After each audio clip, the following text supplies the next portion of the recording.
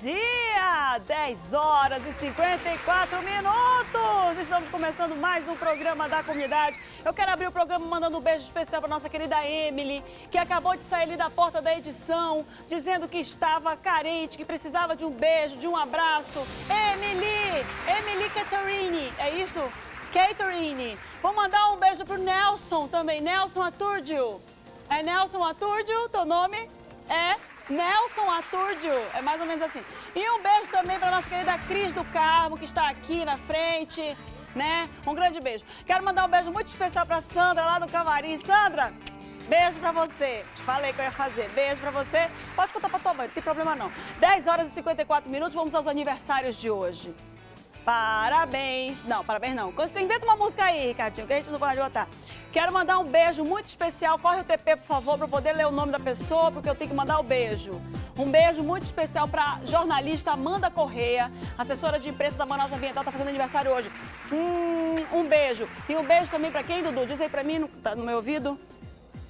Hum, hum? E o Cleidmar também está fazendo aniversário hoje, também é jornalista. Hum, beijo, peixinho, o coração explode para todos os jornalistas. Mentira que não é aniversário do Gesiel, não, deixa de graça. O Gesiel não vou mandar beijo. Vou mandar beijo normal pro Gesiel, não é beijo para aniversário, não. Para todos os aniversariantes de hoje, para todo mundo aí da Zona Leste, Zona Sul, Zona Centro-Oeste, Zona Norte, todo mundo que está fazendo aniversário hoje, um grande beijo para vocês. 10 horas e 55 minutos, vamos falar do nosso Agora Impresso? Agora, está todo mundo falando do Reinaldo, que o Reinaldo fez nudes. Ô, oh, minha gente, pra que esse enxame todo? Não precisa desse enxame todo, pelo amor de Deus. Vou virar, maninho, pra capa, pra gente mostrar o que interessa. Aqui, ó, nosso agora impresso de hoje, sexta-feira, 16 de outubro de 2000 e... Ah, aí tu pega e faz um zoom no umbigo da outra. Pelo amor de Deus. Não, o que interessa é aqui, a manchete. A tentativa de fuga em massa termina com duas mortes no empate. Essa é a notícia do nosso Agora Impresso de hoje, edição de número 1230. E infelizmente aí essa tentativa de fuga foram 300 detentos que tentaram fugir, acabou na morte de dois detentos e dois feridos. É destaque hoje também no programa da comunidade que a gente vai trazer para você. E também o major que morreu durante curso no SIGS, né? Infelizmente aí teve um infarto e acabou vindo a óbito durante o curso do, do, do SIGS. Olha só, gente, esses são os destaques do nosso Agora Impresso em mais de mil pontos de vendas espalhados por toda a cidade. E só o que interessa para você, todos os dias, bem cedinho aí, naquela padaria, nos terminais no ponto de ônibus, na banca de revista, em todos os lugares, para você ficar muito bem informado. Vamos lá, o que, que vem então agora, diretor? Os destaques. Vamos para os destaques de hoje. Você que está acompanhando o programa da comunidade, quer ficar muito bem informado. Hoje a gente vai trazer os destaques para você. A gente vai trazer principalmente aí, olha só, motim no Instituto Prisional Antônio Trindade, no início da tarde de ontem, deixou dois detentos mortos e outros dois feridos.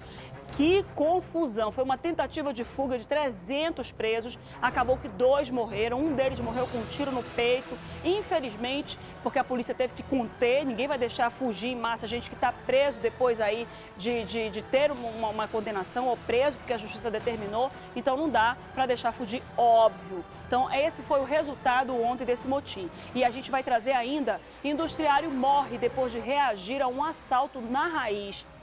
Gente, é o que mais a gente diz aqui, não reajam. Infelizmente ele reagiu, levou um tiro, morreu e o assaltante levou o celular dele. Olha só que tristeza, né? E mais, a gente vai trazer para você também, em apenas um dia, o Rio Negro baixou 40 centímetros. E se continuar assim, a, a promessa é de uma vazante histórica. A média por dia tem sido de 35 centímetros. E olha aí, a gente já começa a ver aí muita terra, né? Já começa a ver aí como é que a orla está secando, a orla está secando. E olha a previsão de uma vazante histórica. A gente vai trazer ainda mais notícia policial para você. Assaltantes roubam celulares e computador de lojas de conveniência na zona centro-oeste. Lembra que ontem acabou o programa, no finalzinho eu estava falando que a gente estava esperando que essas imagens caíssem, mas não caíram ontem, mas a gente vai trazer hoje para você, até porque a polícia espera identificar esses assaltantes. E a matéria completa você vai ver ainda hoje no programa da comunidade. A gente vai trazer também acidente de trânsito. Irmãos morrem esmagados por um caminhão em acidente na noite de ontem no quilômetro 91, na rodovia AM010.